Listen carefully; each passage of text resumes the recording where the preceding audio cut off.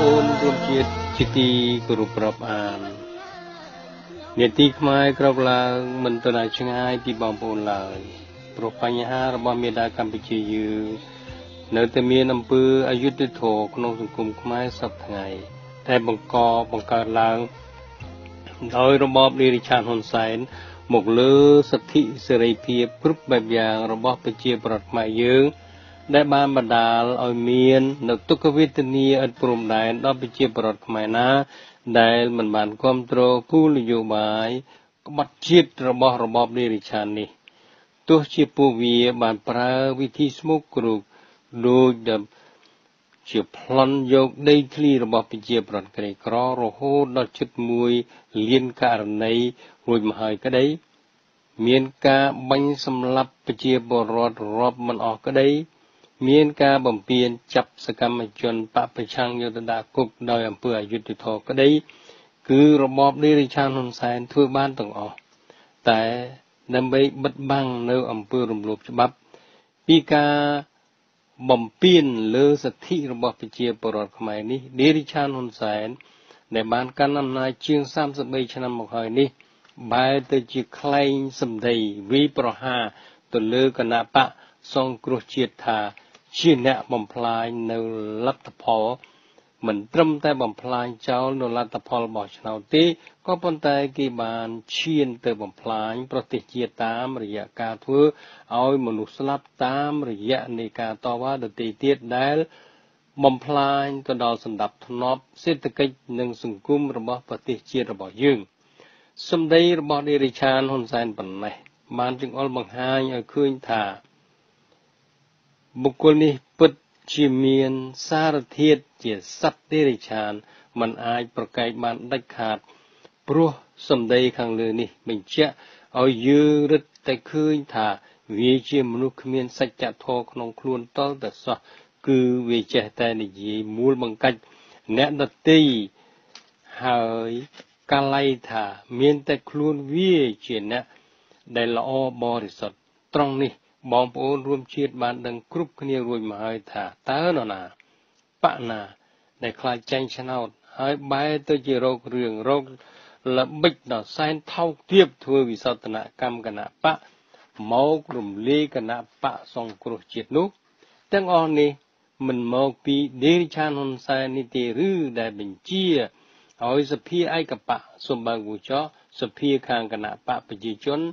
ឲ្យធ្វើច្បាប់បំពេញលើច្បាប់រដ្ឋធម្មនុញ្ញនៃពរាជាណាចក្រកម្ពុជាសម្បត្តិវង្សចៅវិញឲ្យរំលាយគណៈបកសង្គ្រោះជាតិនោះមកដល់ចំណុចនេះយើងសួរទៅដេរិឆានឯងថានេះឬជាច្បាប់របស់ពួកដេរិឆានឯងឬយ៉ាងណា នេះវាជាច្បាប់ព្រីទេថ្មឡើយពេលនេះមុននឹងមានគ្រោះថ្នាក់ដល់ខ្លួនគួរតែ រៀនកែគំនិតមុននឹងហួសពេលនោះ យើងសូមប្រមានដល់ដេរិឆានឯងថាពិភពលោកនេះ មិនមែនមនុស្សដេរិឆានដោយឯងនេះជាអ្នកគូសបន្ទាត់ឲ្យសង្គមខ្មែរដើរតាមនោះទេ មនុស្សខ្មែរមួយភាគធំស្ទើរទាំងអស់លោកបានយល់ពីរបៀបរបបដឹកនាំប្រទេសច្បាស់ណាស់ហើយ ការបោកបញ្ឆោត ការគំរាមកំហែងទៅលើប្រជាពលរដ្ឋលែងមានប្រសិទ្ធភាពតទៅទៀតហើយទន្ទឹមនឹងការបោកប្រាស់របស់ដេរិឆានហ៊ុនសែនឯនេះ យើងសូមលើកយកចំណុចដ៏សំខាន់មួយ ដែលបានផ្ដោតទៅលើបញ្ហាសិទ្ធិមនុស្សដែលមានលំនាំថា តាមឯកសារនៅទីក្រុងហ្សឺណែវប្រទេសស្វីសកម្ពុជាជាប្រទេសមួយក្នុងចំណោមប្រទេសដទៃដែលបានព្រមព្រៀងភ្ជាប់ ចំណងតាមផ្លូវច្បាប់ និងអនុសាសន៍អន្តរជាតិស្តីអំពីច្បាប់មនុស្សធម៌ច្បាប់សិទ្ធិមនុស្សជនភៀសខ្លួន និងច្បាប់ព្រហ្មទណ្ឌជាច្រើន ច្បាប់អន្តរជាតិនីមួយៗក្រោយមកធ្វើឡើងយោងភ្ជាប់ទៅនឹងច្បាប់ពីមុនពីមុននឹងតភ្ជាប់ពីរដ្ឋឬពីរបបមួយទៅរបបមួយ ក្នុងសន្និសីទពិភពលោក ស្តីអំពីសិទ្ធិមនុស្សឆ្នាំ 1993 171ប្រទេសរួមនឹងអង្គការក្រៅរដ្ឋាភិបាលចំនួន800នាក់ប្ររពឡើង នៅទីក្រុងវីយ៉ែននៃប្រទេសអូទ្រីសគេបានអនុម័តលើឯកសារបែបបទមួយនៅថ្ងៃទី25មិថុនាហៅថាសេចក្តីប្រកាសទីក្រុងវៀននិងកម្មវិធីវិធានការអនុវត្តដែលមាន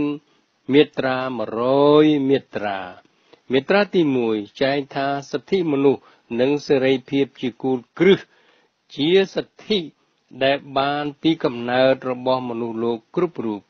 កិច្ចការការពារនិងការលើកកម្ពស់សិទ្ធិនិងសេរីភាពគឺជាការទទួលខុសត្រូវដំបូងបំផុតនៃ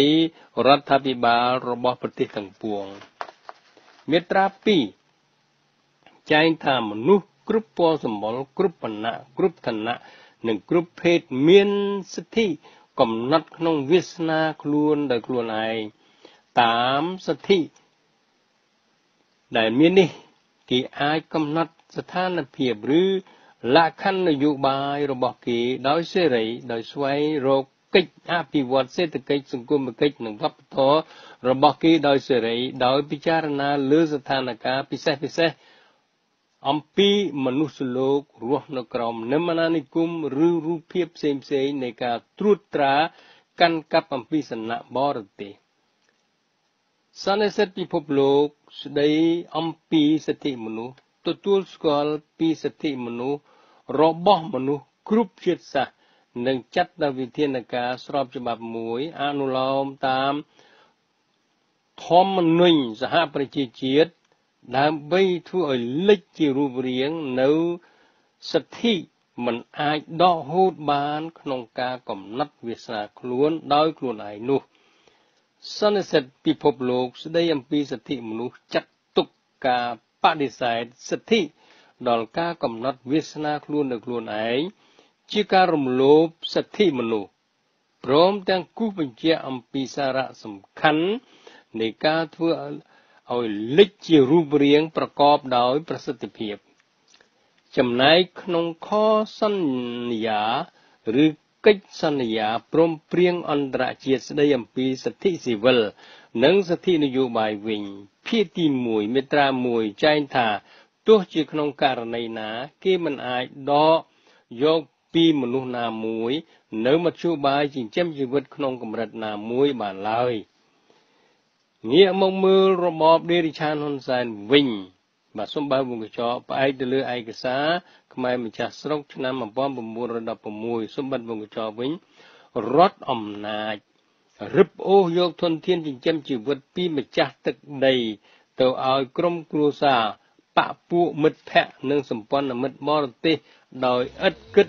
អំពីសិទ្ធិនិងផលប្រយោជន៍របស់ប្រជាពលរដ្ឋខ្មែរឡើយ ក្រុមអ្នកកាន់អំណាចរួមគំនិតគ្នាបញ្ចេញលុយពីកម្ពុជាទៅលាក់នៅឯក្រៅប្រទេសចំនួន15,000លានដុល្លារក្នុងរយៈពេល10ឆ្នាំ តាមរយៈការខ្លែងវិក័យប័ត្រហើយនឹង30,000លានដុល្លារជាលុយកខ្វក់តាមរយៈចំនួនខ្លែងបន្លំពលរដ្ឋខ្មែរជិត1លានអ្នករងគ្រោះដោយសារគេ យកដីធ្លីទៅឲ្យឈ្មួញធ្វើអាជីវកម្មតុលាការគេបណ្ដោយឲ្យពុករលួយ មិនរងយុត្តិធម៌ឲ្យប្រជាពលរដ្ឋខ្មែរទន់ខ្សោយប៉ូលីស PM គេបណ្ដោយឲ្យស៊ីសំណូកនិងបង្ក្រាបការតវ៉ារកយុត្តិធម៌តើនេះហើយឬដែលហៅថារដ្ឋអំណាចគិតប្រយោជន៍រាជប្រជាជនទូចតាចនោះ ដោយសំអាងទៅលើផុសតាង សពបែបយ៉ាងយើងឃើញថាដេរិឆានហ៊ុនសែនបានកំទេចព្រលឹងលទ្ធិប្រជាធិបតេយ្យនៅកម្ពុជា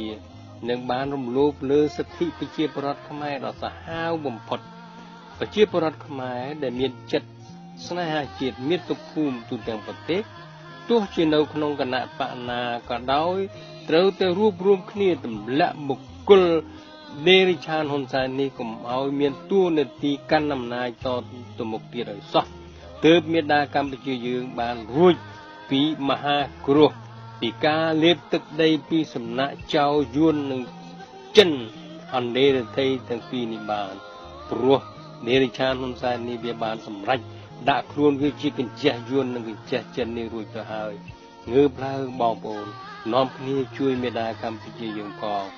ទីខ្ញុំបាទជាតិហងសាវិទ្យុខ្មែរពិភពលោករៀបរៀងជូនបងប្អូនស្ដាប់ពីរដ្ឋមីនីសូតាសហរដ្ឋអាមេរិកដោយសេចក្តីគោរពរាប់អាននិងស្រឡាញ់ដ៏ស្មោះសូមអរគុណនិងសូមជម្រាបលា